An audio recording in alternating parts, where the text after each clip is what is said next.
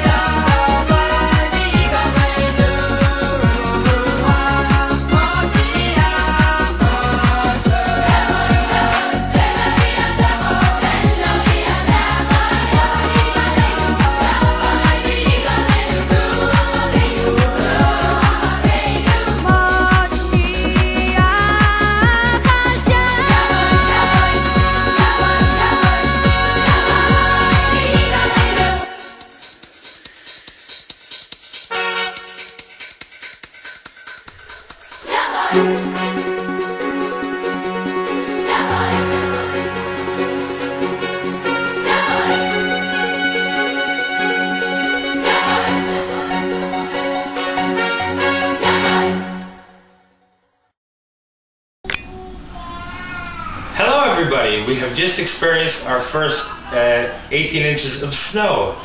Luckily, I'm going back to California tonight where it's 75 degrees.